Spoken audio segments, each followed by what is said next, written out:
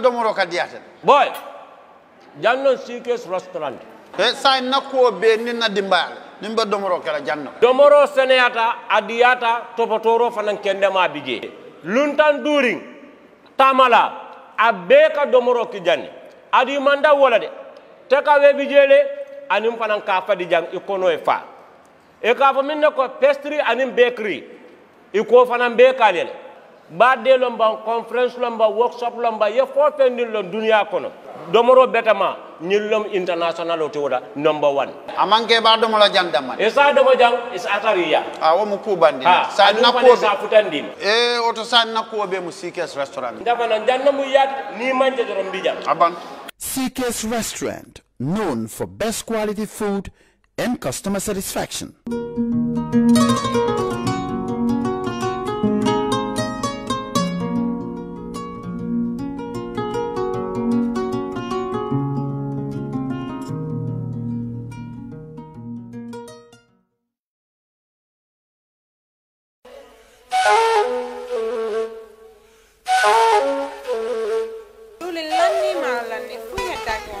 Ko magasin.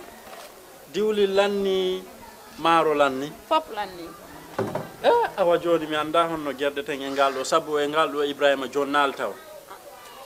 Joni mi anda se yahay ka bitiki ñawloɗen ha humpodire e makko est ce que on noon e warude Ah ane ko de Ba- uh, ibrahima mama kon to woni?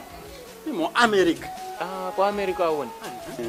Kede humpitaki fiɓe musidɓe men balu o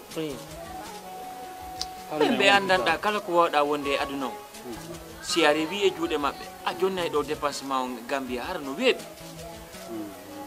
A yahata kadi taw ko mbuɗi ɗi no ƴawi walla no jippi ɓe haalantama ko kala ko falɗa ko sengo ñamete ili nebba maaro e basalle pomme de terre kala ko rewi ɗon a hendoto hara no weeɓi. Kadi wona ɗum ɗon tu ɓe aɓe jonnira e mobile phone siko ɗum kadi.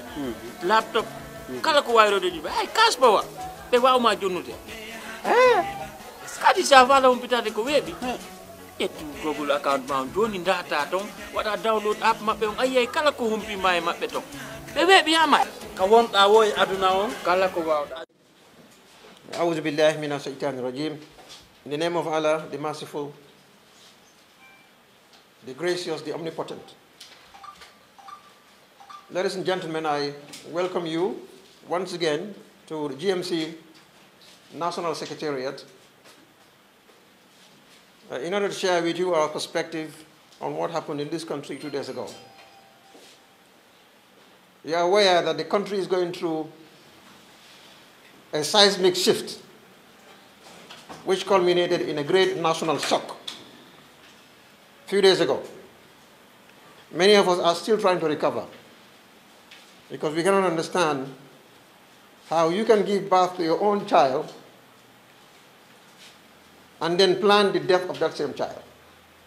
In other words, you give birth to a child and then before the child's birthday would even arrive, you murder this child. I think the imagery is very clear to all of you. That is very shocking.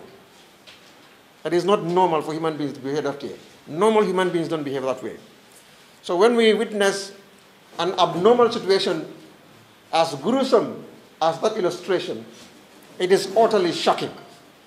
And that is why it took some time before we can complete a thorough reflection of the situation. This press conference, or rather the press briefing, is going to deal with one subject only, and that is the draft constitution of 2020. That is the purpose and the sole purpose of this event. Um, I have a prepared statement, and all of you are going to have a copy of the statement to make it easier for you to follow our arguments. Because we do not want you to misquote, as the case may be.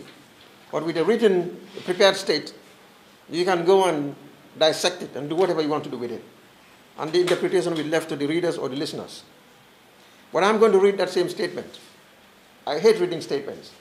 But I'm, con- I'm constrained and conditioned to confine myself to a statement by other authorities whom I answer as well, uh, within the hierarchy, the structure, our own, our own structure, for the fear that you know I may keep, I may keep talking out of my emotion.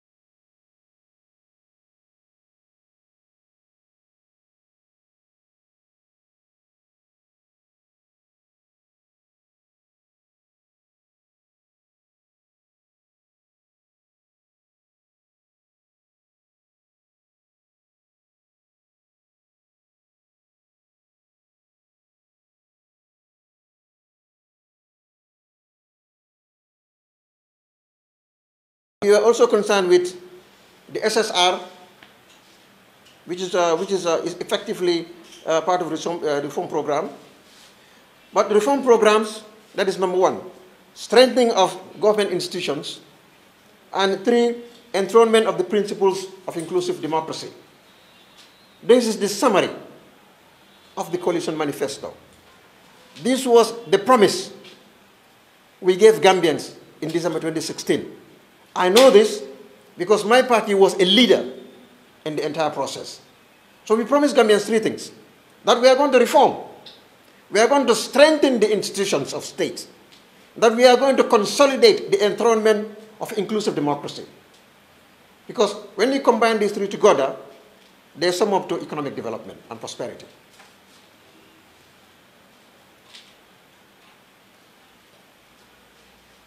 Constitutional review civil service reform, security sector reform, Janneh Commission, the TRRC, constitute the central nervous system of the agenda of reform mandated by the electorates. So far, the security sector reform is anything but a success. Civil service reform has not even been placed on the menu yet. The intentional lack of transparency in the implementation of the Janneh Commission report and the intentional great betrayal or the intentional misapplication by some of its most important lessons by the state is deemed a great betrayal by most Gambians. The CRC is by far the most significant policy failure of the administration. Ironically, its monumental failure was directly orchestrated through a real conspiracy by known politicians in the executive and parliament. While the few proxies completed the dirty job on the floor of the National Assembly chamber, the invisible hand of the main protagonist became visible through the uniformity of their feeble arguments. Their main objections dealt with three concerns only out of hundreds of provisions, hundreds and hundreds of provisions. Three concerns only, they torpedoed entire uh, constitution. One, the draft provision on term limits that subjects the president's current term to be computed as part thereof.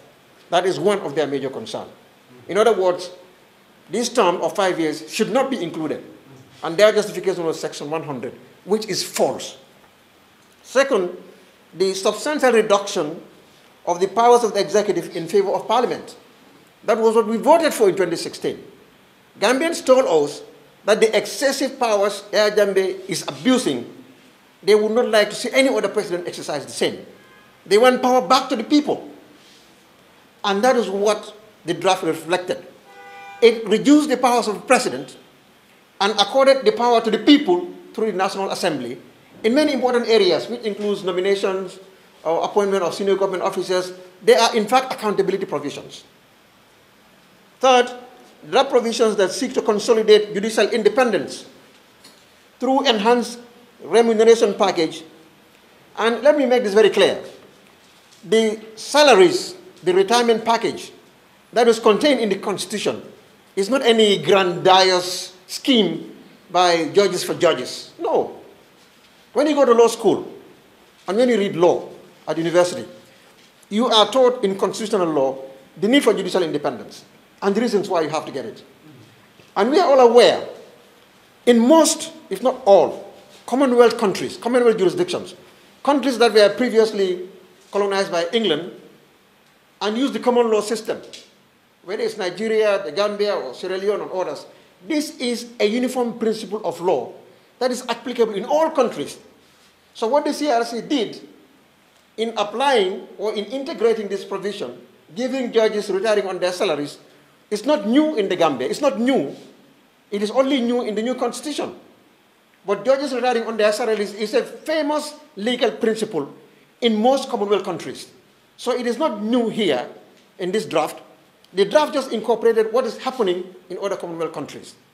So it is not a conspiracy by judges in order to give them fat salaries that their contemporaries are not getting. And the reason is, in order to have judicial independence, we want to make sure that judges are very difficult to bribe. And when they are comfortable, knowing that even if they are retired, they don't have to worry about their livelihoods so that they can dispense justice fairly and adequately, equally among all citizens because it is the last bastion. That is why normally in countries, Commonwealth countries, it is inserted in their provisions for judges to retire on their salary so that they will not worry. Even if I, if I dispense justice honestly, when I retire, I still have a regular income to keep me alive. But if they have to worry, when I retire, how am I going to live with my family? Then that can render them susceptible to corruption and so many other things. These are one of the reasons why Commonwealth countries, not only here, but this remuneration package is also contained in other constitutions in other Commonwealth countries. So let us get that clear. But they do not understand that. And even where they do understood, they misinform the public about its purpose. So essentially, these are the three reasons. I'm sure if it says the president to retire on his salary, they will not have worried about that. Because all their objections is centered on around one pillar. Now, a forensic evaluation of their main reasons for voting down the bill revealed nothing, nothing but selfish, individualistic, egoistic personal interest. None of their objections are grounded either in law, logic, policy, or except personal interest. Nothing. Now, secondly, a forensic evaluation of the minority that voted against also revealed the source that orchestrated this humongous national scheme. Let us all look at the three regions that were their concerns. Who do they favor? It reveals who is actually the power behind this rejection. Now, a breakdown of the 20 MPs that voted down against the Constitution. Five from NRP. It is clear to all that NRP had declared total allegiance, absolute allegiance, to the personal political ambition of the president. They would not have had the audacity to vote against the bill if it did not serve the personal political ambition of the president. Particularly, that the bill in question originated from the government headed by their candidate for 2021. The NRP candidates would not have the audacity to vote against a bill that President, President Barrow sent to Parliament. Who is their candidate for 2021, according to Hamat Bah, the NRP leader? If they do not have the blessings of the leadership. It's simple logic. This assertion was derived from the public statements of NRP leader, including the one he made at Sarebojo, URR. I was there. Two, five from NRP, 10 independent MPs, eight previously dismissed by the UDP for anti-party activities, and according to the UDP spokesperson, for advancing the personal political agenda of President Barrow contrary to party principles. This was what the UDP spokesperson said. So their dismissal is very clear why. They are identified and known by the entire country as National Assembly members notionally representing the NPP and President Barrow in Parliament. This group included two National Assembly members previously on the ticket of the GDC. So we are analyzing those who voted against this bill. Five from NRP, and they have asserted that President Barrow is their candidate for 2021. They would not have turned down a bill that is coming from their candidate, who is the head of the government, unless their candidate want them to vote against this bill. The 10 independent candidates, uh, uh, members, we all know there's no, there's no, there's no uh, pretense here. And all eight of them are purely uh, on one side. One from PPP, considering that PPP regard themselves as part of the government, particularly when they are representative in cabinet, that is Fisheries Minister. He's also the minister responsible for the National Assembly. He dare not vote against a major government bill without validation from the party leadership. So the one from PPP also, let us look at, let us forensically look at it. Honorable James Gomez is the minister responsible for the National Assembly. He is a minister and considers himself part of the, of the Barrow administration up to now. He's also an important figure, leadership of the UDP. When you said, uh, sorry, with PPP, when you say leadership, I don't mean he's the, he's the party leader and so forth. What we know, he represents the PPP in the coalition government and in the coalition cabinet. So it would be very difficult to assume that the PPP also would have gone against National Assembly, particularly when their minister, their representative is also the minister in charge of National Assembly. One nominated member who acts as the chief, the chief parliamentary whip for the NPP and President Barrow. We know who they are. He acts as the main whip. He speaks with force. He's, a, he's a one nominate, the only nominated member who voted for it. And Honorable Magasi, the independent arm of. These are the people who were working with the state, the NPP. And finally, five from APRC. Their vote was one of strategic convenience to achieve a common purpose. It was evidence of a convergence for different purposes. From Honorable Amulnyasi himself, the draft was superfluous and that a comprehensive amendment of the APRC 1997 Constitution would suffice. This was the view presented by the APRC through Honorable Amulnyasi, that they felt we should just amend the 1997 Constitution and that the 2021 was is not un, it's unnecessary. They're protecting the legacy of their own party, so it's also for political purpose. Now, this position coincidentally favors the government as well. It is not to say that they may not have sat together and decided let's vote this way, but in this particular instance, voting down the 2020 leaves us with 1997, which continues the legacy of their, their party, APRC, as the general promulgation team. The role of the Attorney General's chambers and Ministry of Justice is most shocking. The ministry relied on the wrong provision of the Constitution they knew would automatically lead to the rejection of the bill. This is the surest evidence of the government defeating its own bill in Parliament. They presented the bill pursuant to Section 226 of the Constitution, a provision that we submit has absolutely nothing to do with presenting a draft constitution for referendum.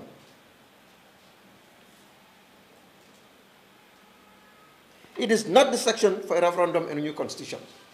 We are saying that the bill that was placed in Parliament, section 226, they talk about 2264, 2267, all this, the entire provision of 226 is not relevant for the purpose of a constitutional promulgation. It is not, it is wrong section in law. And we have very strong reasons to justify this in law. So, in a sense, what I'm saying is that the Ministry of Justice intentionally chose the wrong section of the law that will ensure the failure of the bill in Parliament. It shows executive collusion as well. Regarding Section 226, now let us surgically dissect Section 226 of the Constitution. The 1997 Constitution envisages, it envisages different referenda, different types of referendum, such as Section 63, subsection 5, including those pertaining to entrenched provisions as outlined in Section 226, subsection 7. Whereas Section 63 deals with the tenure of the President and his potential removal by virtue of a no, no confidence vote in Parliament, subsection 5 establishes that any such removal shall be validated by the electors via a referendum without specifying the procedure for the conduct of such a referendum. In other words, the Constitution of the Gambia, 1997, did not just consider a referendum for a new constitution. There are other aspects of referenda also specified in the Constitution. And I'm giving an example of Section 63, subsection 5. This deals with when Parliament passes a vote of no confidence against a president, automatically the president is not going to lose his seat. That result, that vote of no confidence which they passed against the president, if it was unanimous or if it, if it passed the, majority, uh, the majority threshold, it has to go to the electorate. It has to go through a referendum for the electorate also to validate that no, no vote, uh, no vote, no confidence vote in, in parliament. So this is another, another referendum, but we are not dealing with this because this is very specific. We are dealing with section 223. I'm just giving an indication as to the, the presence of the need for referendum in other provisions in the constitution, not just when you are promulgating a new bill, a new, um, a new constitution. So far, there is no law that specifies how a referendum would be conducted in the event of a no confidence vote against President for his removal from office. So if Parliament were to pass a vote of no confidence against President Barrow today, it will not work. If the entire Parliament, all 53, 50, all 53 of them, vote against and pass a vote of no confidence against President Barrow, he will still stay in power because there is no act, there is no act of Parliament, there is no law that prescribes how a referendum should be conducted in the event that a no confidence vote is made against the president. There's no such law.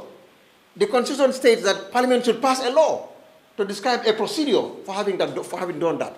So far, there is no law in the country, not in our law books to make that possible. So that is, that is uh, one challenge which should be resolved in the 1997 constitution, which is not resolved. This issue of the draft constitution is another challenge we'll come to again. Reading section 226, it deals with referenda relating to those matters outlined in subsection 7 and nothing more. Now, if you read section 226, it is very clear. It refers you to subsection 4 of section 226. Subsection 4 deals with holding, uh, deals with altering the constitution, and there's a, a procedure there that specified, but it makes reference to subject to sub, uh, subsection 4, sub, subsection 7 of section 226 of the constitution. Now, when you go to subsection 7 of subsection 226 of the Constitution, it atomizes. When you want to alter the Constitution in respect of section this, you go to a referendum. Section that, you go to a referendum. So subsection 4 of section 226 must be read subject to subsection 7 of section 226 of the Constitution. I hope I'm not confusing you. I hope you're following. Now, this is the situation. Now, subject to the provision sub, sub, subsection 221, If you go to sus- sub- uh, section 226 of the Constitution, it is very clear uh, what it says, and we will be dealing with it. I do not intend to argue this case here in the media, but it is time that Gambians understand how the government itself deceived the entire country, including many members of parliament, by using the wrong provision of the Constitution in order to obtain a failure in the National Assembly. And if we do not satisfy the law, people will go with the assumption that things were right. But there have been opportunity to argue this elsewhere before people will make a determination. But in the meantime, the public must understand because when we reach that stage, it will be unlawful for us to mention it in the public. We'll have to follow the procedure. Now, you go through, you go over it again. The header, section 226 of the Constitution, which the government rely on to take the bill. The heading of that section reads alteration, alteration of this Constitution in, in, in, in quoted terms. Section 226, subsection 1, further validates the header, and I read, subject to the provisions of this section, subject to the provisions of this section, that is section 226, subsection 1. An act of the National Assembly may alter this constitution. This constitution is my emphasis. So it says, subject to subsection, subsection 1 of section 226 of the Constitution, an act of the National Assembly may alter this constitution. The word this constitution are not mine. I am quoting them directly from, the, from subsection 1 of section 226. So, what is this constitution? Is it the new draft constitution or is it the 1997 constitution? We will come there to show the great deception of the century that the state imposed in order to uh, blindfold all of us. Clearly, clearly, as it says, subject to the provisions of this section, an act of the National Assembly may alter this constitution, subsection 1226. Clearly, this outs every other provision in the entire constitution dealing with the alteration of the 1997 constitution. Subsection 1226 says, any alteration to this constitution must be subject to an act of parliament. So there is no other provision in the constitution that would be dealt with in terms of alteration except section 226.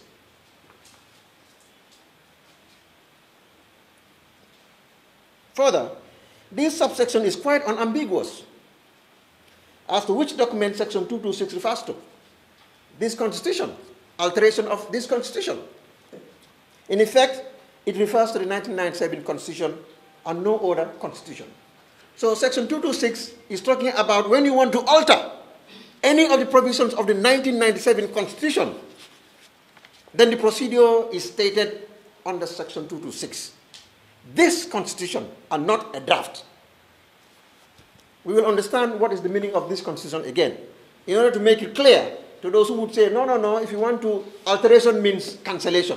We all know when you, when you alter something, you don't cancel it. Do you cancel it? Nobody cancels anything you alter. You only change it. You change the format. Either you add something or you remove something.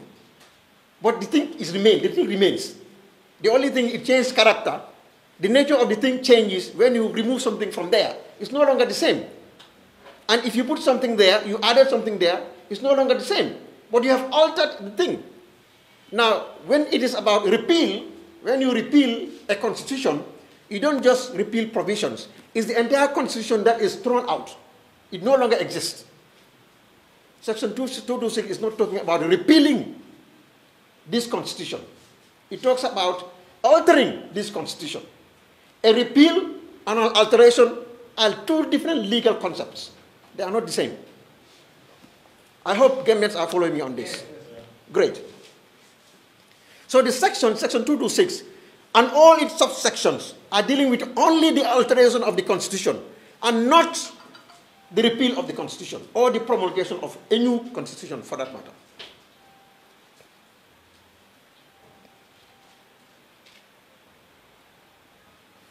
Certainly, section 226 is not talking about a draft constitution. The word draft does not exist anywhere in the entire constitution. The word draft constitution does not exist anywhere. From the first, from the section one all the way to la last section, there is no word draft constitution in the entire constitution, does not exist. Promulgation of a new constitution does not exist. The word promulgation of a new constitution does not exist anywhere in the, in the entire constitution. It does not exist there. Or the word repeal of this constitution does not exist in the entire constitution. Well, if I'm wrong, the constitution is there for anybody to read. Bring it out and tell me, show where it is. I am not speaking in my bedroom. I'm talking to the whole world. It concerns, Section 226 is not talking about a draft constitution. It concerns the alteration of the provisions of the 1997 Constitution. The word alteration is not technical. It is not technical. Its ordinary meaning applies. If a word is not technical, you see, there are what we call canons of interpretation in law. Canons of, there are, there are, these are principles that judges and lawyers use to interpret legal text. They are called canons of interpretation. And they have not changed. They are there. I use them, others use them. So if, if, if, if a word is plain, has its plain and ordinary meaning, suffices. You don't go behind technicalities and try to pretend that you know you are a legal mind. So the word alteration we must, must be taken on its plain ordinary meaning. No technicalities here. You know? So an alteration, like it says, like I indicated, the word alteration is not technical. Its ordinary meaning applies, meaning changing any of the provisions of the 1997 Constitution, and not the promulgation of a draft constitution, or worse still, the repeal of the same. This contention is supported by subsection 4 of section 226 of the Constitution, because they are relying on subsection 4 also of 226 of the Constitution, which is again bogus, another wrong provision. Because subsection 4 of 226 clearly states about this, this and, and subjects it to subsection 7. A bill, this contention is supported by subsection 4 of section 226, which states, it states, a bill for an act of the National Assembly altering any of the provisions referred to in subsection 7 shall not pass by the National Assembly or presented to the President for assent unless blah, blah, blah, blah. So subsection 4 is talking about alteration to any of the provisions. It's not even about altering the Constitution. It says any of the provisions.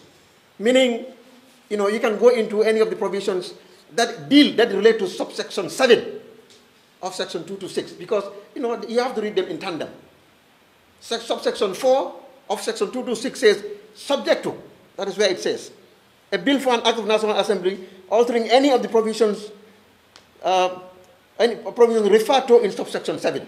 So when you read section, uh, sub, subsection 4, you have to go and read subsection 7 again. You combine them and interpret them together. Cumulatively, the result is what you will have.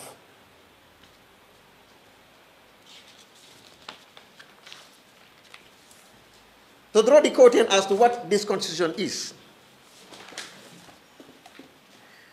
because subsection, subsection uh, because section 226, which they use to go to parliament to present a bill, talks about altering the constitution. So, which constitution I, I, I asked earlier? Do we have any support in any of the laws of the Gambia to tell us what is the meaning of the constitution? Or which document the constitution is referring to under section 226? Yes, there is.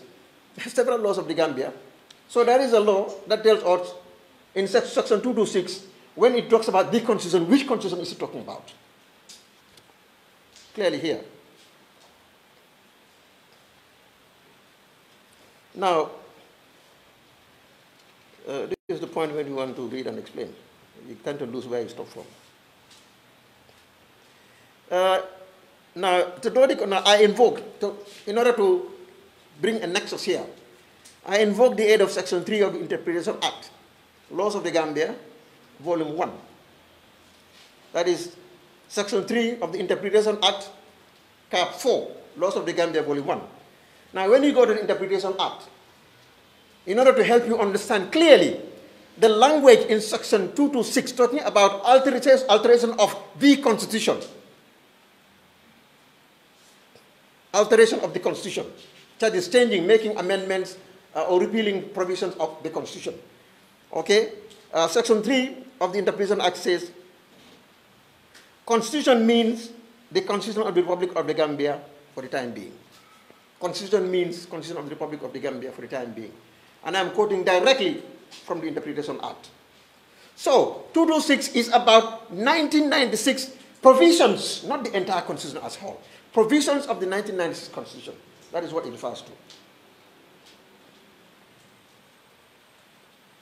Therefore, any reference to the Constitution or to the provisions of any of the provisions of this Constitution unequivocally refers to the 1997 Constitution and no other Constitution or draft Constitution. This would only be true, would only be untrue rather, if anyone can prove that Section 3 of the Interpretation Act as relates to the Constitution was specifically amended. I'm fully confident that this contention is unassailable. Therefore, Section 226 in its entirety, in its, enti- in its entirety, in, its entirety, with, the- with the procedure, uh, in its entirety with the procedure for the alteration of this Constitution, the provisions of the 1997 Constitution, and not the repeal thereof or the promulgation of a new Constitution. So Section 226 does not repeal, it does not repeal the 1997 Constitution, and it does not, it does not provide a possibility of a replacement of the 1990s, uh, 1997 Constitution. In fact, the 1997 Constitution does not envisage a change. It does not envisage it would be repealed. If you look, if you read the Constitution properly and you go from the preamble, you make a relationship with all of the provisions. It is intended to stay. The only thing that could be done is to repeal provisions of it, but not a wholesale repeal of the entire Constitution. That was not envisaged by the draft, in this particular draft, group of draft, draft, draft persons. Of course, constitutions should change. They can even be repealed and amended. I know that principle. I'm not saying that it is impossible to get it repealed because we are attempting to repeal it. But I'm saying the way the Constitution of 1997 has been drafted, it was not envisaged to be repealed. This is my position. I'm not saying Constitution cannot be repealed. Yes, they can be repealed because I don't want people to go out to say, Honorable Mai Fatty said 1997 Constitution cannot be repealed. I didn't say that. I said the Constitution itself does not envisage it to be repealed because it did not provide any provision that deals with repealing it. So if there is no provision, there is no law in the Constitution that deals with repealing the Constitution, then that Constitution does not envisage being repealed. Simple as that.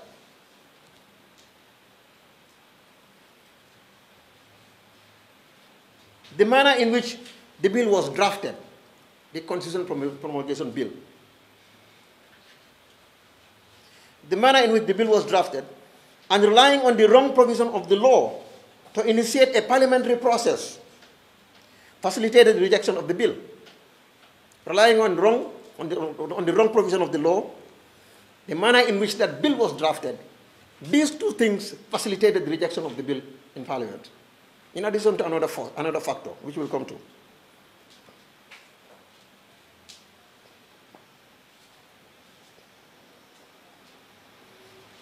Uh, having regard to the anatomy of the nays, those who say no, the nays, coupled with the intentionally wrong application of the law by the state law office, it is crystal clear that the government introduced a bill and embedded within the bill were elements to defeat that same bill. Therefore, the culprit responsible for the rejection of the bill is the government itself, nobody else. It was designed to fail. the lackluster attitude and demeanor of the Attorney General, evidenced through his conspicuous indifference on the floor of the Assembly, is in itself conclusive of executive complicity in defeating the bill.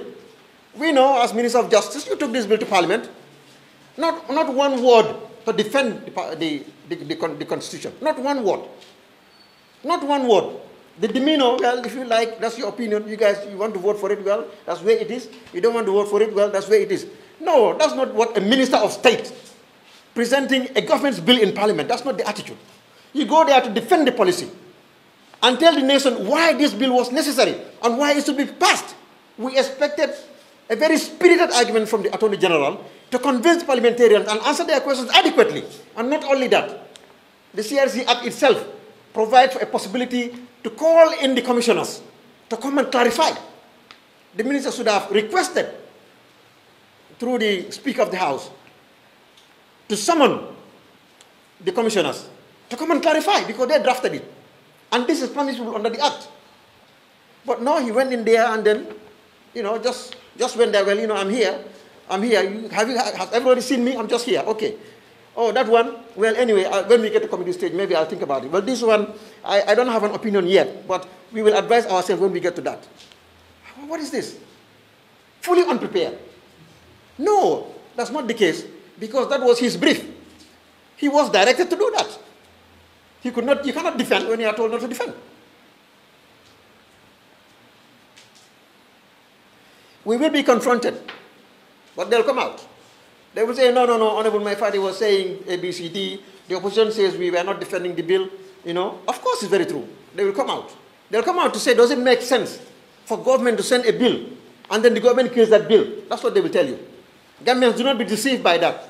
When they come out with that weak explanation that they would not go to parliament to present a bill and yet contribute in killing that bill. No, do not be deceived. That was exactly what they wanted. And look at the attitude Look at the wrong provision of the law. Look at the lack of defense. And then look at those who voted against. Combine all these two together. It will tell you who are responsible behind the, the death of this, the defeat, not because it's not death, the defeat of the, of the bill. It is the people who represented the, uh, the executive that voted against it. It is the Attorney General who went there refusing to defend it. Not only that, they choose the wrong law to initiate it. So we will be confronted with two fierce responses to the issues raised here. On the part of the state, we should all expect a strong denial with tons of senile reasons as to the folly of an executive defeat of its own major flagship legislation. This then would be loudly echoed by their political surrogates in an attempt to sanitize this insanitizable, disgraceful history.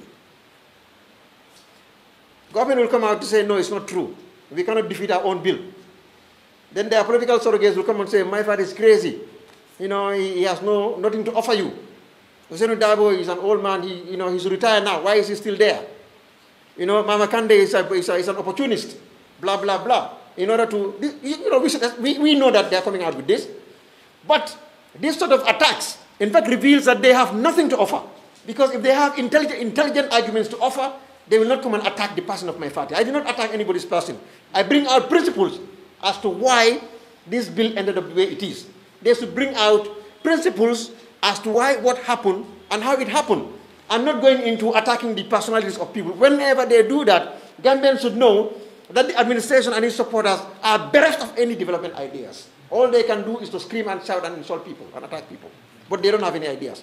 When you want to run a state, it is a battle of ideas. If you don't have any ideas about running a state, and you are clueless as to how a government should be governed, then just keep quiet rather than revealing your in, rather than revealing your mediocrity. Because when you open your mouth, your mediocrity will come out. Now, the NAMs on their part will seek to invoke Section 112B in an attempt to sanitize their insanitizable conscience. Those who voted against will, will say, no, we, we, we only use Section 112 of the Constitution, 112 subsection B. That is, that states members of National Assembly are allowed in the execution of their, of their functions to use only their conscience and the national interest. That is what section 112 says, 2B says. And they will say that's what we do. But we all know if they exercise their conscience, yes, maybe they exercise their conscience. But there are two types of conscience. Correct conscience and wrong conscience. Yeah, they can use their, they use their wrong conscience. As for the national interest, that's out of it. So it's very clear. Even if they say, they, but that's what we expect them to come, to tell us. And when they come out talking about section 112B, remember they are deceiving themselves, but because governments cannot be deceived anymore.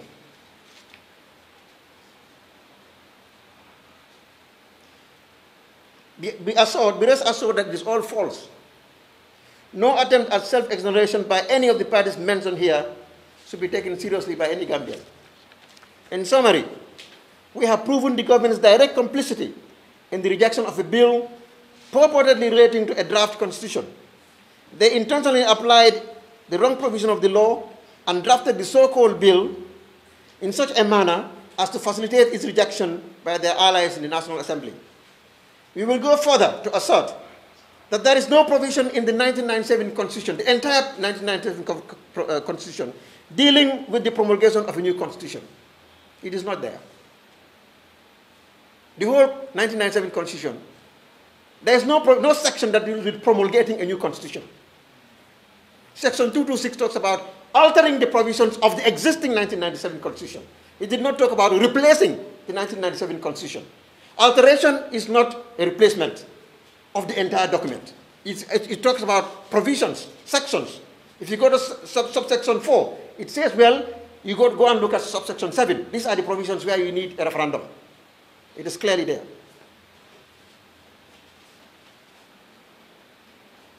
The cumulative effect of section 226, subsection 1, section 226, subsection 4, section 226, subsection 7, section 226, subsection 8 and 9, and section 3 of the, of the um, Interpretation Act conclusively support, strengthen, and corroborate this contention.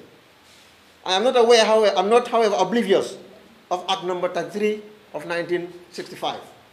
What they do not know, or what they know, but they, they, they refuse to advert their attention to.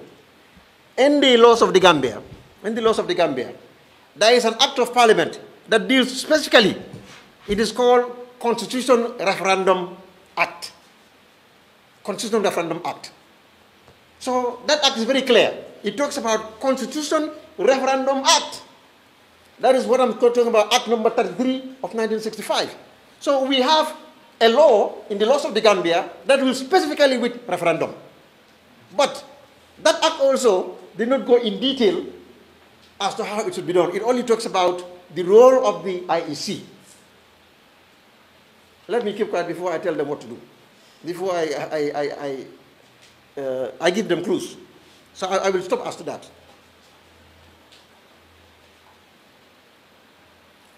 I am not, however, oblivious of that. Uh. The anatomy of the nay votes, those who needed vote, who voted no, points to one inescapable conclusion a conspiracy to defeat the so called bill in the National Assembly.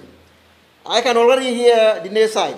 Well, then, assuming there are no provisions in the 1997 Constitution for its repeal and the promulgation of a new Constitution, how would the draft be referred to a referendum? How would the draft be referred to a referendum if there is no provision to refer it to a referendum in the 1997 Constitution? Then how can you refer it to a referendum? I am not a legal advisor to government or an employee of the Ministry of Justice. It is for the Attorney General and Minister of Justice to answer that question. The law is clear. I'm not going to say that. But I know how it can be done. I assume you should know also. That's why they're misleading us. We will provide our answer at the appropriate legal forum. Any determination by that forum will also be subject to the verdict of Gambians. Not only that, posterity will also be the judge of the judges, either through condemnation or commendation. In conclusion, we hold the government directly responsible for the rejection of the so-called bill. We conclude that there was no sincerity on the part of the government with regards to the entire reform program. We assert that the reform mandate upon which the coalition emerged victorious at the polls in December 2016 has been torpedoed, and in its place, the rejected agenda of the consolidation of the status quo ante has been granted new accelerated engines. This is the great betrayal that history will talk about for eternity. As a party, we have put a process in place that will entail the input of others on this matter. So I will not make unilateral declaration to avert undermining that process. I can assure you, however, that we shall defend the national interests, ensuring that the draft constitution continues to live. It is not dead and will never die. We will be keenly observing the nature of the frustrated response from the other side. We are anticipating that they will utilize the excessive powers of the incumbency to try to overreach. Let me say this. If you do not learn from the lessons of the TRRC, go ahead and misuse such powers of incumbency. Go ahead and misuse them against the people.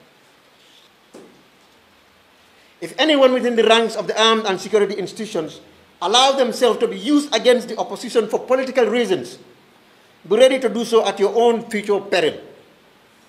Unless if you die before another government is established. regardless of who leads that new government. I can call on security institutions to perform their duties in accordance with the law. I call on the Ministry of Justice not to allow anyone to use the ministry or its staff to adversely use the law against anybody for political reasons. History is recording. Another day of reckoning will come without fail. You do not want you or your family to be placed at a difficult situation in the future. It is not worth it. Do not allow a temporary position in government to destroy the rest of your life and your family's life.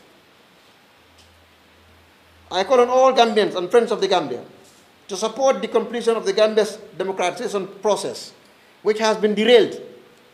We did not end a system of brutal dictatorship in lieu of a benevolent dictatorship.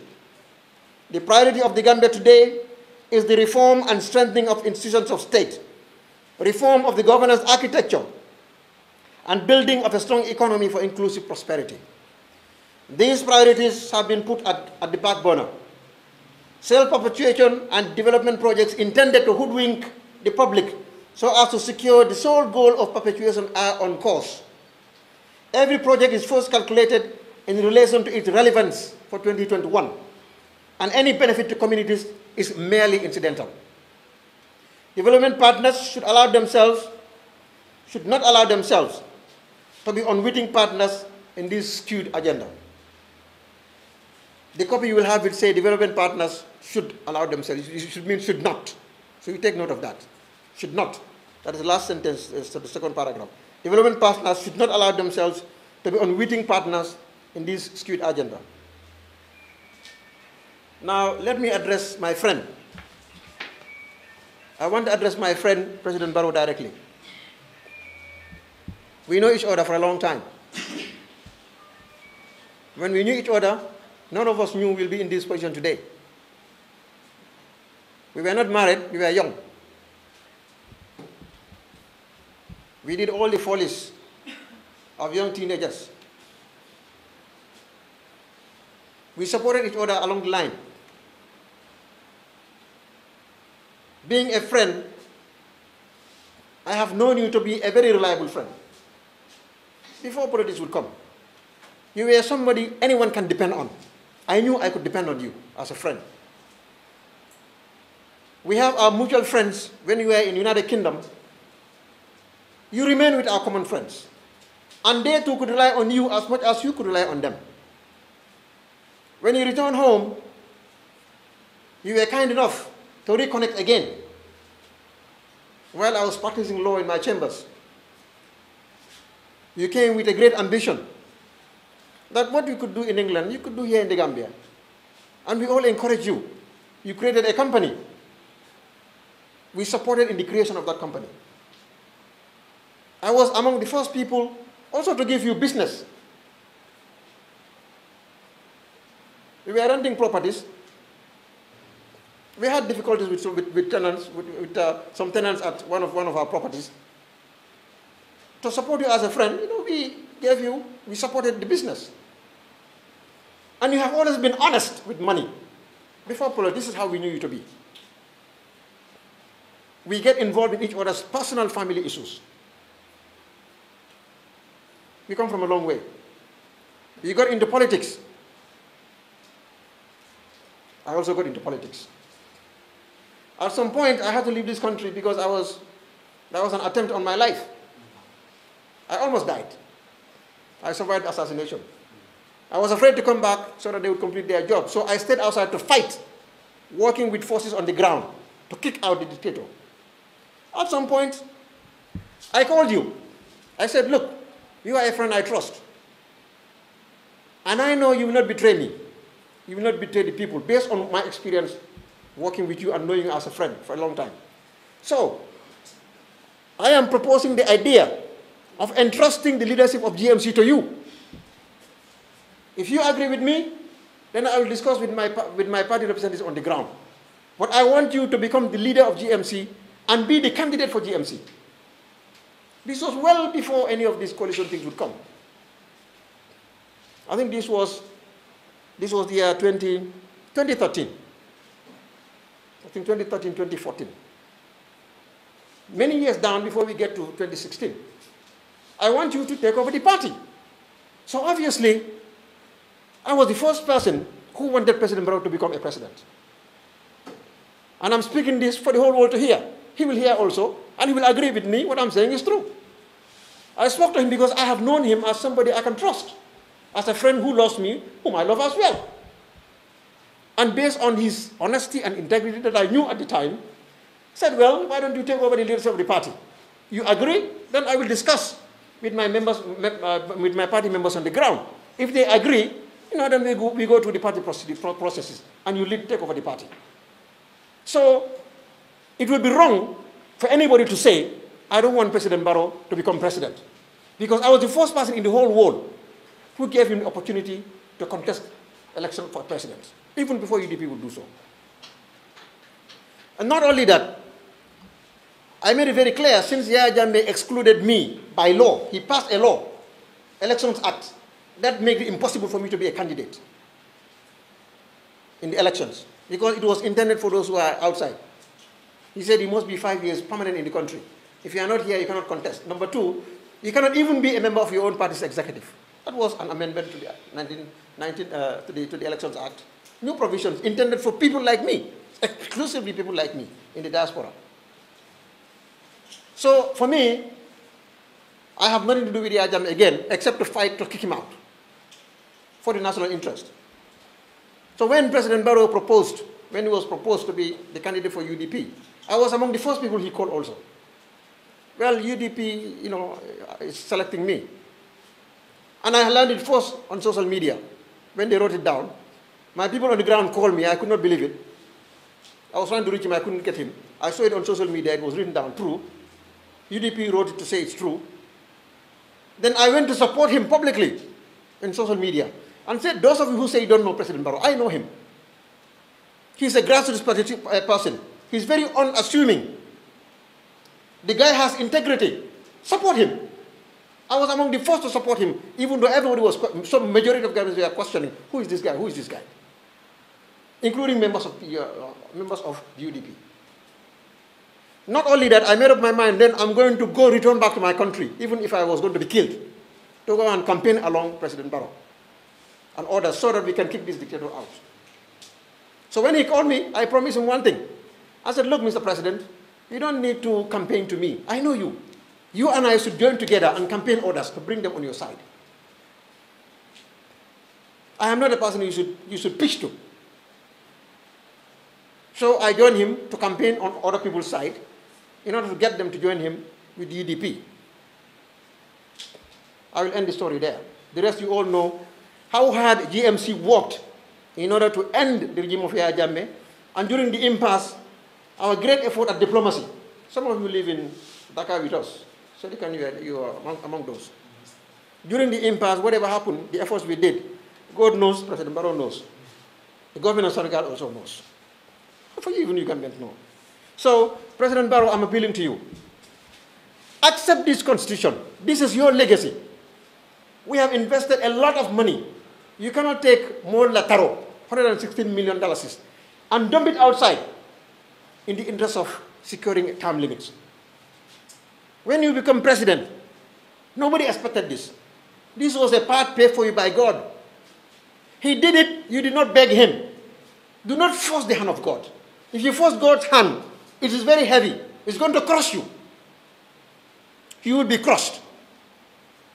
Be very humble and accept the time that God has given you. Five years. Do you even know whether you are going to live for five, for, before 2021? Nobody knows it's the hands of Allah. Why are you going to destroy an entire country in the interest of time limits? The consistent amount of destroying the country, this draft. I appeal to you as a friend, as a brother. I have not changed. If I move away from you, it will be because I have principles that are for the national interest. You will say you are for the national interest. But the public will judge which national interest is, is, is really the national interest. So I am for the 19, uh, the 2020 draft. Fully, I have made this very clear. But you are not for it. So you and I, we have a departure point here, and we will depart from these points. Maybe we will agree on some other things in the future. But this is where we differ. And we are going to defend it, and we are ready for you and your government to come after us. And whoever does, we will defeat you. Lastly, ladies and gentlemen, I want to give you this assurance, this assurance, that 2021, by the grace of Almighty Allah, if you all would live to witness it, 2021, the only government, bi'idhnillah, that will win, that will be installed, is going to be one that will be led by GMC. GMC is next government. You are media journalists, write it down. We are very confident of our strength on the ground. You know, people make noise. When you are moving slowly, you don't make noise. When you are moving pretty fast, all the noise will come around. We are not in that noise. We are moving, we are moving cautiously. So you are not going to see our dust. You will not see the dust. You will realize it just like sleep comes to you. You wake up in the morning, Republic of the Gambia, the new government, under the leadership of GMC. I thank you all for coming. May God bless the Republic of the Gambia. Yes, first question. No, let, us let's give a chance to a lady.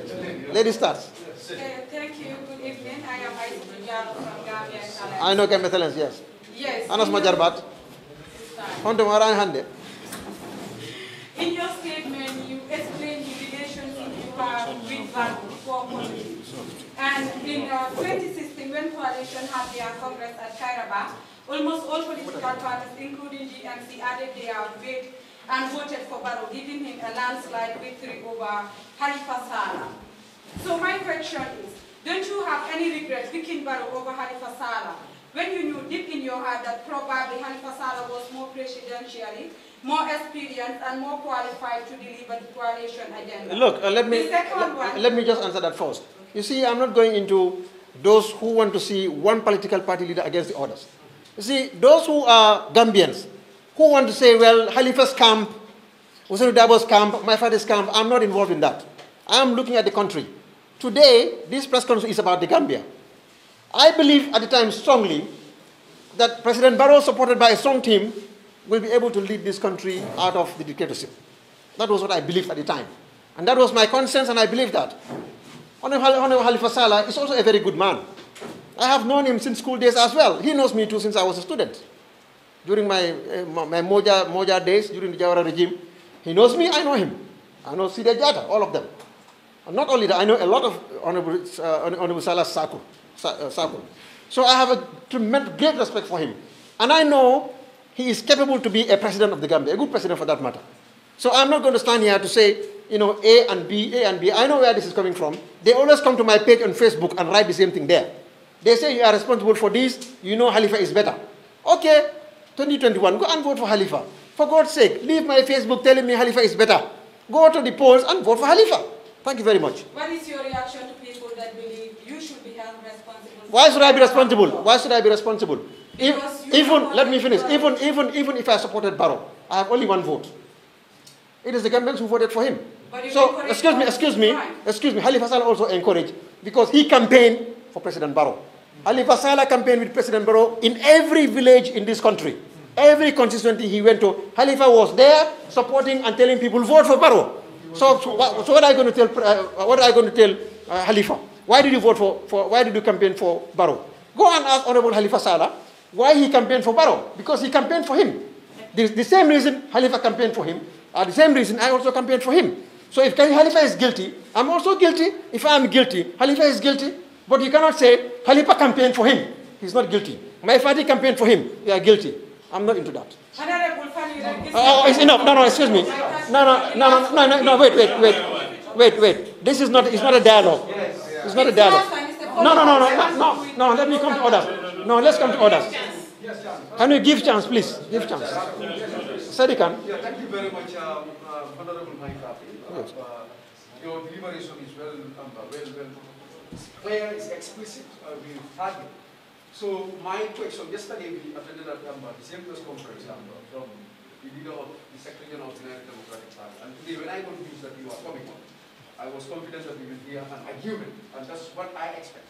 So, but my question to you is, I will ask two questions. And my first question to you is... Each one will ask one question first. Yes. Then we can come to second round. Exactly. Only, only one question. Yes, uh, yesterday, uh, a leader of a political party was so dissatisfied with the performance of the current Attorney General and Minister of Justice when this um, uh, uh, the second reading of the, um, of, the, of, of the draft constitution was tabled at the National Assembly. Um, uh, today you are also explaining the same thing, that the minister could have done better to defend and advocate for the promulgation of this um, uh, draft constitution at the National Assembly. So now that the parliamentarians are dissatisfied with the agreement of the minister or entirely the draft constitution, what is the way forward? Well, well, like I indicated in my statement, we have put a consultative, a consultative process in effect. I am not going to stand here to tell you unilaterally this is the way ahead, because we are in discussions with partners, and those discussions have not been concluded. Now, if I give any specific answer as to this question, I will be undermining that process because I don't know what would be the consensus of the rest of those in the consultation as to the way forward. That is what I can say as regards to that. Yeah, right now, uh, I think, uh, the sorry. Yeah, right now, I think uh, everyone is confused. Personally, I'm confused. They're saying, like, the whole 1997 constitution does not have any provision providing for its repeal. So, and then you're also asking President Barrow to push for the draft again. Then I want you to tell us here, for the whole parliament, which law should we rely on? That is one. And your, your argument on section 226. I think one question. Everybody has one question. Let me answer the question. Yes. Um, there should be no confusion here. What I'm saying is that uh, really, 226 is the wrong section of the law. And I believe that the Ministry of Justice, Attorney General's Chamber, they have an army of lawyers there. They have a whole army of lawyers. I believe, I think if they really seriously want this bill to be passed, even with all its legal defects, they would have instructed their surrogates to vote for it. They would have instructed their surrogates to vote for it. Clearly. So it shows that they, do, they want the bill to fail. Now, as to which is the relevant law, it is there. But I'm not going to throw that, that bomb here. There is going to be another, another forum where that will be necessary. So I'm not throwing everything here now. But I know the ministry should advise themselves again. And I'm urging President Barrow to reintroduce this bill, uh, another bill under the correct provision of the law, which I believe the Minister of Justice, Attorney General Chambers should know. They know. They know. Thank you. Yeah, um, Honorable. Yes. My name is Uspada Wodiet um, slash Generation TV. CEO. Uh, Director General. So, um, Honorable, I want to commend you well-articulated deliberation. Um, I will call you my landed honorable. That's how you call it whether in the court of law. So, um, anyway, I just want to ask you about this question because it's a very hitting question at the moment. That is the involvement of foreign powers in the internal affairs of the country. Because we are nationalists, so we will love our, everything to be done by the Gambians. In as much as we want our constitution to be uh, passed to referendum, but it have to be soldered on the citizens of this country. What is your reaction towards that? Well, it's, it's clear. You know, there's a lot of hypocrisy, uh, you know, even among Gambians themselves. When we were fighting with Yahya Jammeh and wanted him out, the EU, they issued a statement. We all clap for it. Oh, EU says, even you say Jammeh should go. The Americans, they said he should go. Oh, yes, even America said Yahya Jammeh should go. The Germans, I was involved in the international diplomacy when we were working hard to get the UN to give us the support. These were the countries we used in order to get the members of the Security Council to support us. Nobody said, America, EU, please get out of our business, don't get involved. Everybody was happy.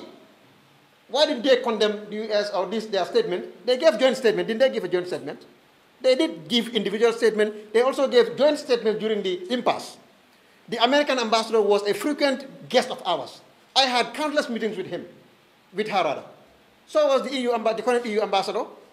when they came to offer us over 200 million uh, uh, euros, our first meeting at Yarambamba, when he came there first in order to, to give uh, to, for the EU to, to uh, open again development cooperation, we all clap. Nobody says, ah, please, can you take your money out of here? And when EU, the EU commissioner for, for aid came, and he gave 11 million for YEP and other things, nobody says, look, don't interfere in our business. Did anybody say that? Nobody said so. And many, many more reasons. Many, many more. When they support us, and this support is consistent with our interests, we say thank you. And when some of us don't like what they say, we say go to hell. This is their attitude. He expelled them, he said go to hell. We don't want to repeat that again. The world is a global village.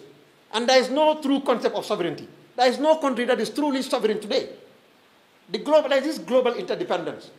And due to treaties, international law, and all these changes, nations will interfere in other nations' affairs.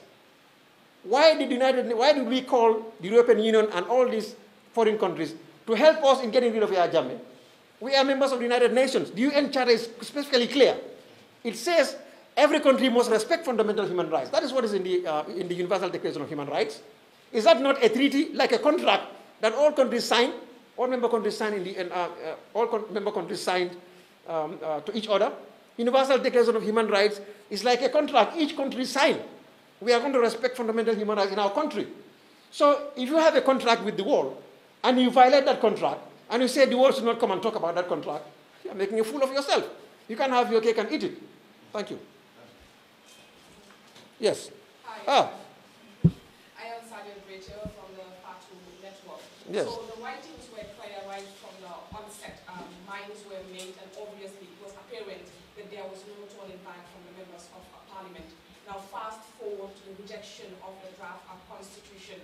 Some people actually believe that this was never about the constitution. This was just a big standoff between MPs who support, let's say, the current government and the others. Now, um, Honorable, yesterday we watched the, the press conference of the United Democratic Party and we've heard Darboe actually accuse the president of having a hand in the rejection of the draft constitution. Now, if in fact the president had a hand or masterminded rejection of this draft constitution, what does that mean for our transitional justice process? One is tempted to ask, what exactly did we vote Jammeh out for? Phew.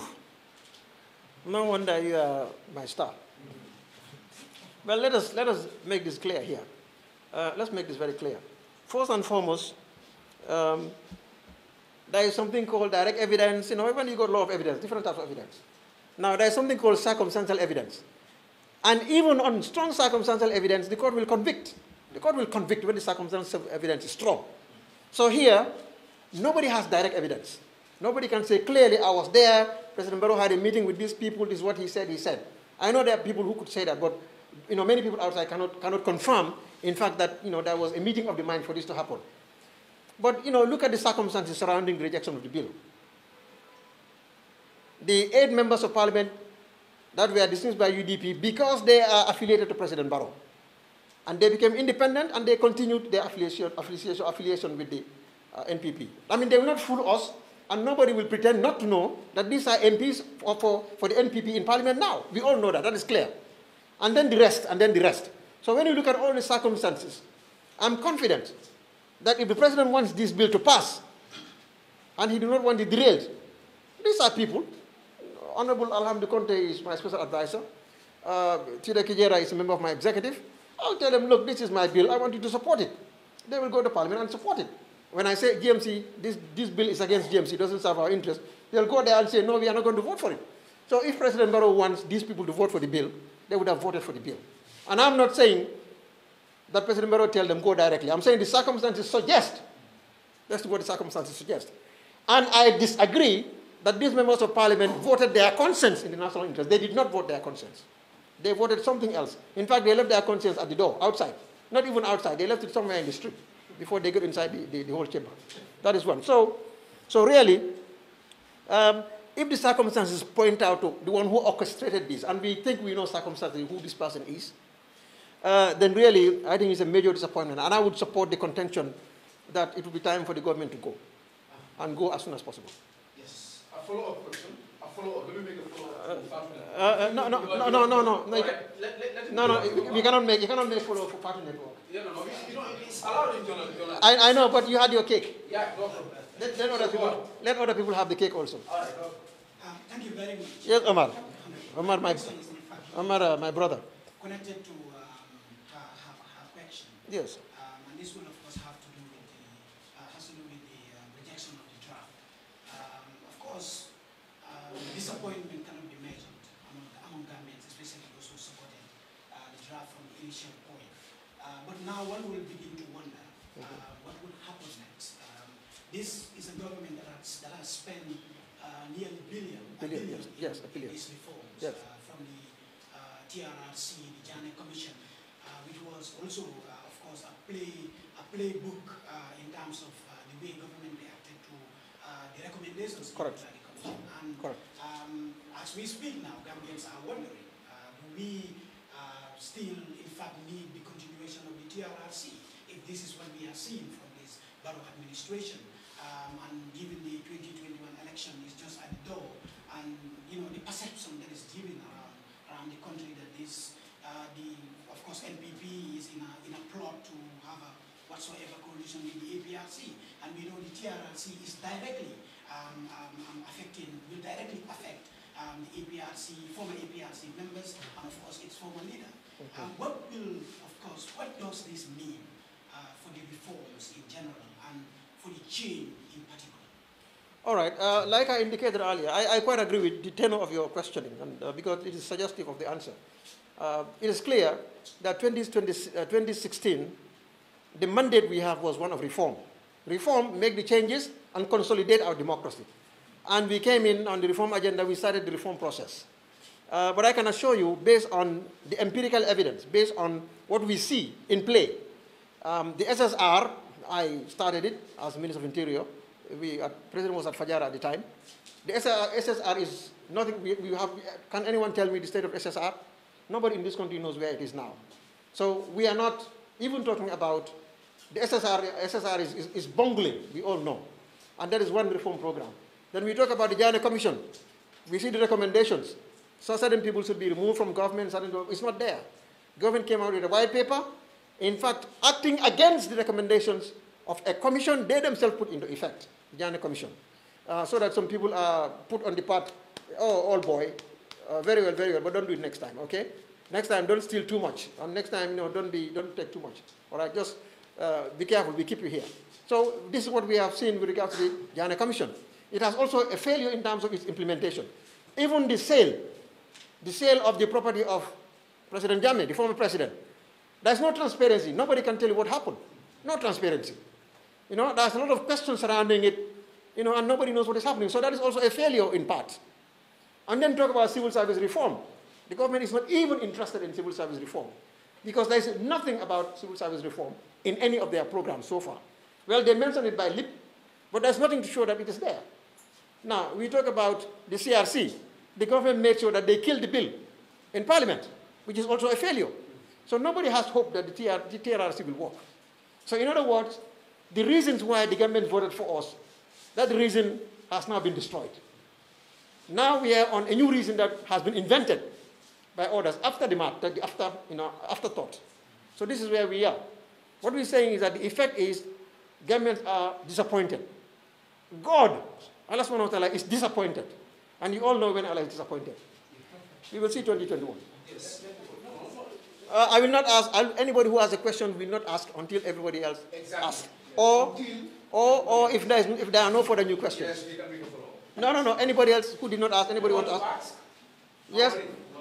Okay, well.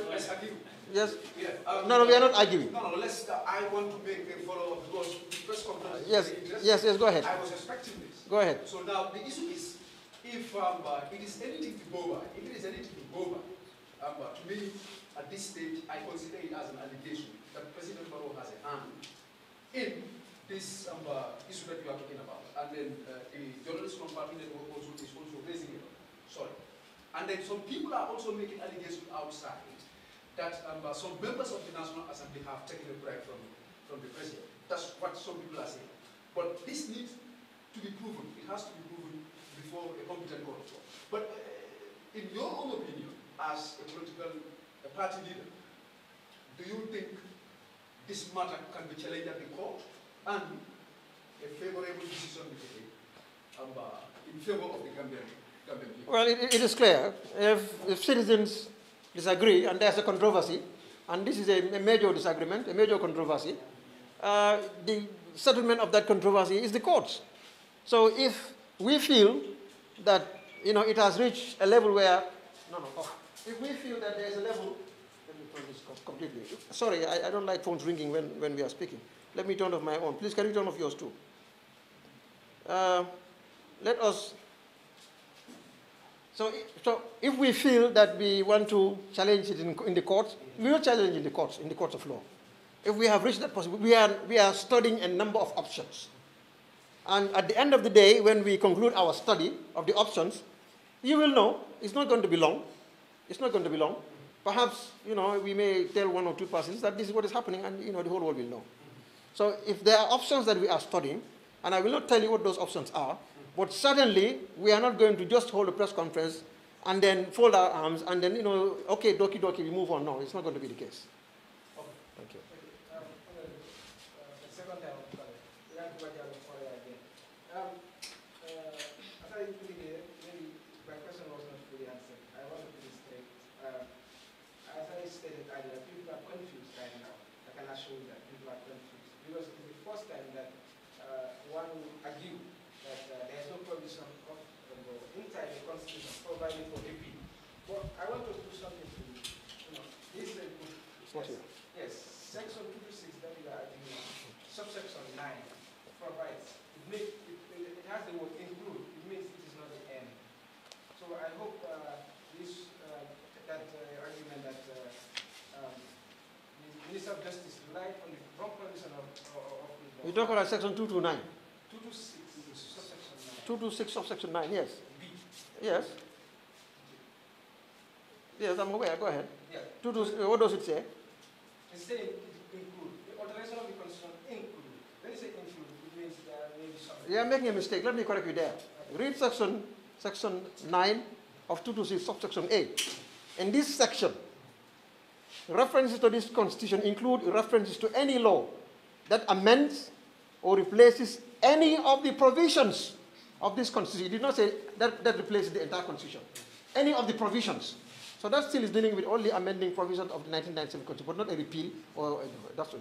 Then the second one to, uh, to the alteration of this constitution includes reference to the amendment, modification, or the enactment with or without amendment or modification of the constitution or any provision for the time being contained in this constitution again. The suspension or repeal or the making of different provision in lieu there, different provision again of the same constitution. It didn't say repeal of this constitution. So what I'm telling you is that nobody will come out and say specifically this is the section that repeals the constitution. It's not there. So, so my question is, Well, even if they do, Yes. they will not be on any statutory legal ground. I'm sure people can say it. Yes, my question is, the constitutional reform is not the only thing the coalition agenda. Then one of the things that you had was the security sector reform. The president in his recent address to the nation at the National Assembly, he said, in fact, even the policy was not developed. They have halted. The institutional policy has been halted.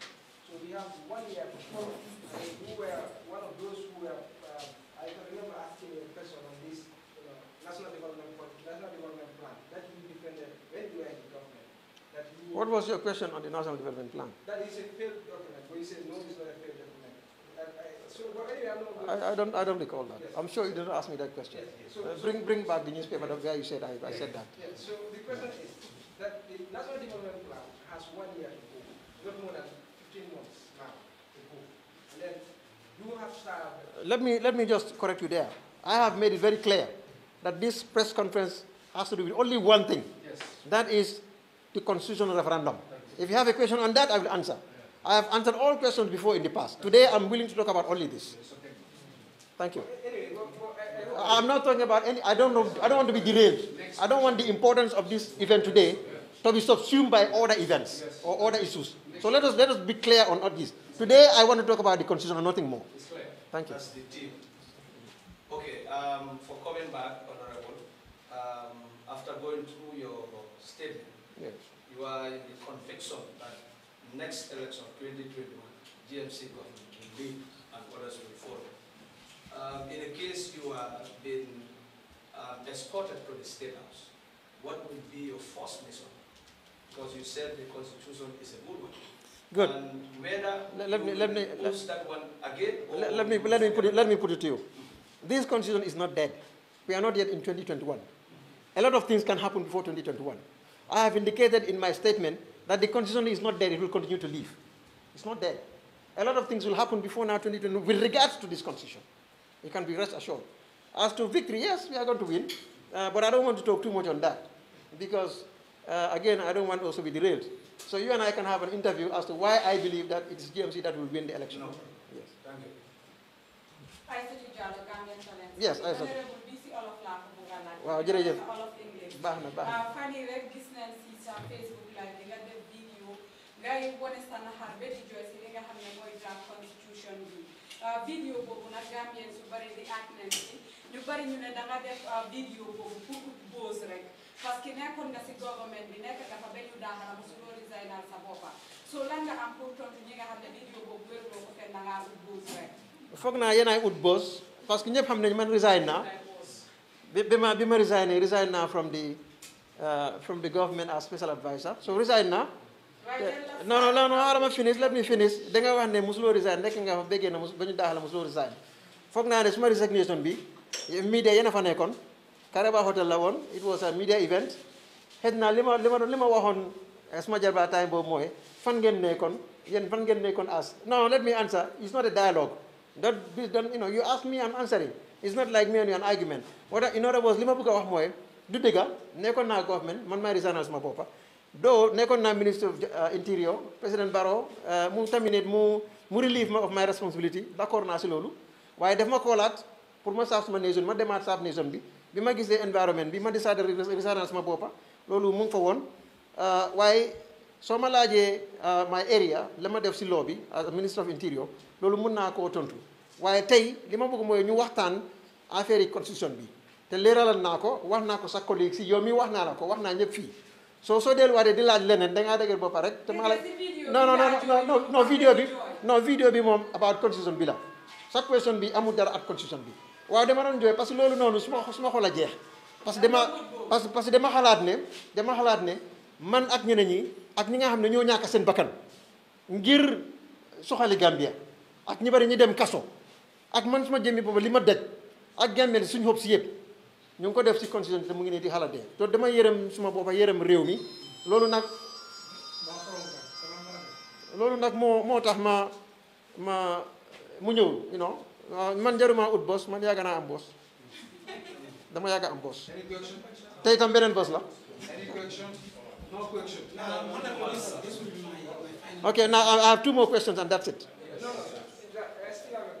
No, but uh, uh, no, we have to put an end to this. Two, two more questions. Some of you have to go back and write. Yes, one, one and one more. Yes.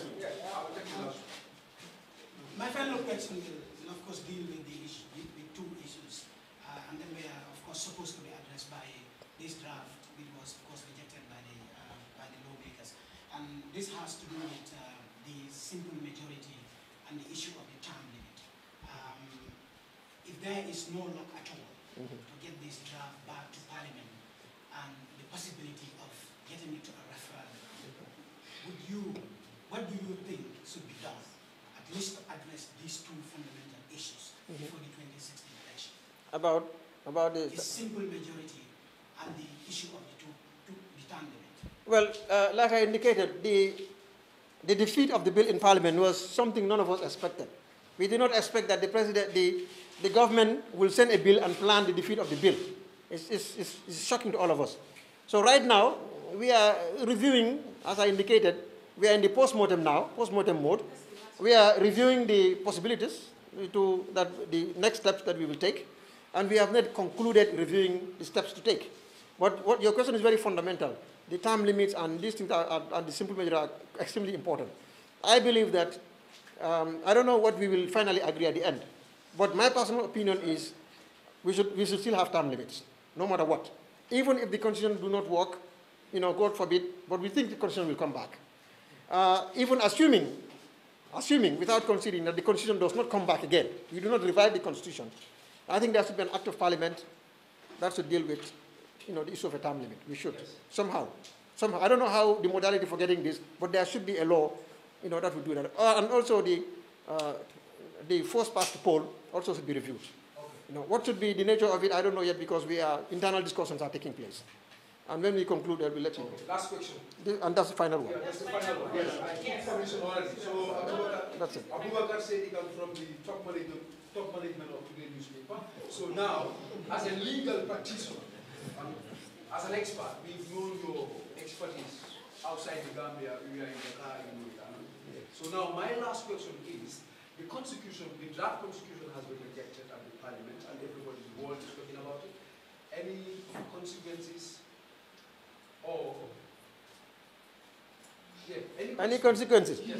Well, I tell you, if, if I were the, the minister, if I were the minister of justice, I present a bill in parliament like this, and, and I would resign. You will resign. Yes, I would resign. And uh, um, in fact, I will not allow myself to reach that point. If I suspect that this whole thing is a farce, it's just a mere facade, there is no reality, no truth, truth in it, I would uh, say goodbye a long time ago and just give my part. I will not even reach the point, I won't be the minister to promulgate. I will resign and go. And I will not say why I resign, but I'll just I'll leave them in peace. That is one thing. Second thing is, um, I think those who walk against this bill and those who are behind it, they will get their day. Their day is coming. And when that day comes, whatever God decides will happen on that day. Thank you very much. That's the end of it. Gentlemen, gentlemen, I want to and ladies, I want to thank all of you for coming. We, this is an unfolding event. We will continue to consult you as our own internal consultations continue. And we will let you know what the, uh, what the final conclusions would be. And for those of you who want, you know, private, uh, private interviews, uh, we can arrange that later. We can arrange that later. But I, I want to thank all of you from the bottom of my heart. I see I, all of you uh, great journalists. This country has a great future. You know, I, I know all of you over the years. Uh, and and as, as for the Fulas, my children who are here from the Fulani, uh, thank you for coming. If you are hungry, tell me. There's little food. Uh, uncle has placed somewhere. Thank you very much. Thank you so much, thank you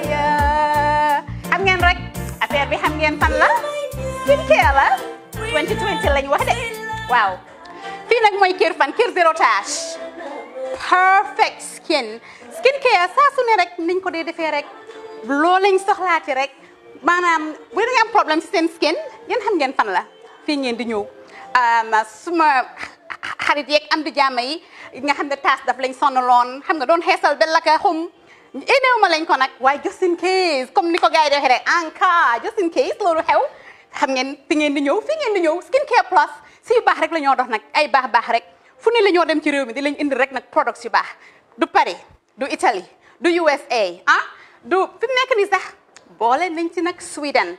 Fu nekk lañ leen a indilee products. Bu dee tamit nag da nga ñuul rek ñu lay jamaa ah natural beauty that melanin dripping we do have stuff for you as well. And emuñ si skincare products rek ñu ngi ci cuub tamit ah fu ne la ñoo jaar in fact sax last commercial bi ñu defoon waxuñ leen woon ne dañoo dox ci ay kawar 9A grade rek nag waaw we do have bundles as well. Hair. Si lu ne la ñoo dox ñun ñu ngi ci rafetal jigéen rek luy taaral jigéen rek waaw boo leen di tukki tamit bëggoon rek classic suitcase ñu ngi dañoo dox ci ay samsonite duñ dee indi any brand of suitcases though other than samsonite. Comme li ma dee wax rek boo eggee airport diri samsonite dafa am nuñ laa xoolee. Waaw ngeen ne lan nag waaw. Um, skin ci moom la ñu gën a xamee nag skin care products ci moom la ñu gën a xamee ñu ngee dox tamit bentee tamit si ay dàlla man waaye man nag skin care mooy suma specialty. Xam nga rek jigéen bu sa xar kanam loo def mu jag am nañ um, Patricia Reiner Kiwi Eye the whole range Lighten Up Gold um, Tomatine. I mean the list can just go on and on and on and on. Lépp loo xam ne rek luy taaral la ci yooyu rek la ñoo dox. Skin care plus nag emuñ si Gambia rek. Ñu nga United States ñu ngi Gambia fii. Ba pare bu dee anywhere in Europe mun nañ la ko mail. Within three days rek ñetti fan rek nga jot say diw. Emuñ si loolu rek dañ laa consult tamit. Balaa ñu laa jaay diw dinañ def a free consultation pour wax la rek exactly li nga xam ne moo méngoo ak sa kanam. Dinañ leen wax tamit ne rek am nañ perfumes you know fragrances men's shirts um, accessories. We do do dresses as well. We do blouses. I mean we do shoes. Name it we do them. Skincare plus 2020 is our year of perfection zero task. Fi mu nekk nii réew mi fii kenn waratu fi fee taas kenn waratu fi am problème pro kanam kenn waratu fi am problème picca boo ko amee dafa fekk ne rek ñëwuloo ci place bi fii.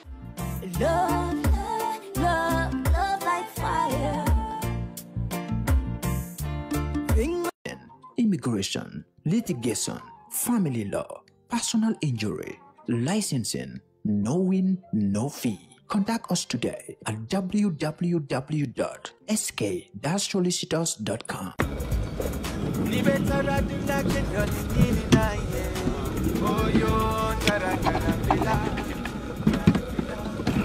Yo, ini bara ini bara. Ah, right, okay. Dingbara, Dingbara. Welcome, welcome. Uh, basically, lot of lala me along is cool, man, that I can really relax. What the madam? Yeah, that's What the madam? Yeah. Let them do somebody. Ah, that's right.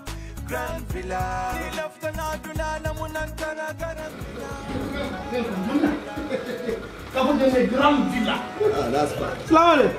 Yes, yes, yes. No, no, no, no, no, no, no. Also, we Dingbara. Thank you. Bari Dingbara. Yeah, actually, lot of lala basically me along is very relax. So it's always something that I can understand. It's always very relaxed. Ni la fa ni sewal. Ni is the best guest house in the Gambia. mbeji andikan grand villa guest house. Na labuŋol bee be seneyaariŋ aduŋ na buŋol bee be ɲarandiriŋ komiŋ i be lafila i la suwo tara ɲaameŋ ntel grand villa. Na kiliyaano la lafinno wo le kaŋo tin tel kaŋ na ye sabati grand villa. Ye la kodo nafa kalamuta.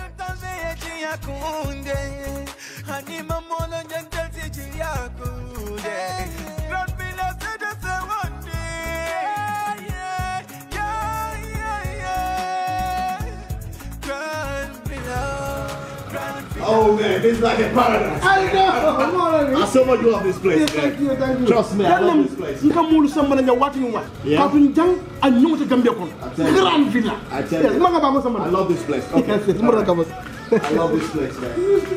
Oh yeah. ni laftan na kuwo keso sotola futanma oljuntum paradise estate mba ye commandiro ke 7527218 wala ye futan na website oto www grandvillaguesthouse com grand villa guest house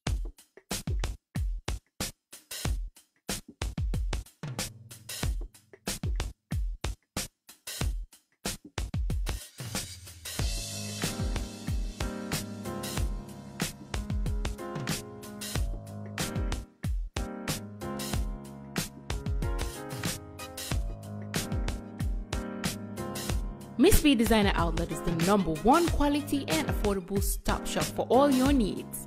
Get your evening dresses, suit and ties, office wears for both ladies and gentlemen, beach wears, sport wears, pure leather shoes for men, quality belts, bags, heels for our beautiful ladies, original perfumes, accessories, and a lot more.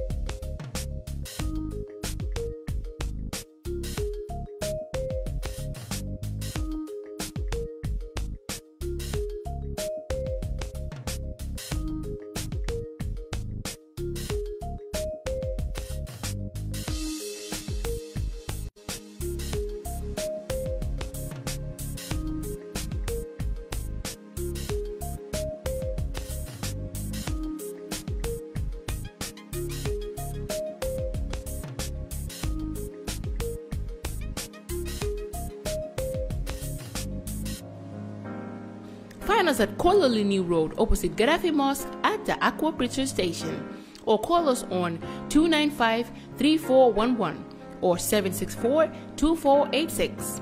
Miss B Designer Outlet. Shop right, look good.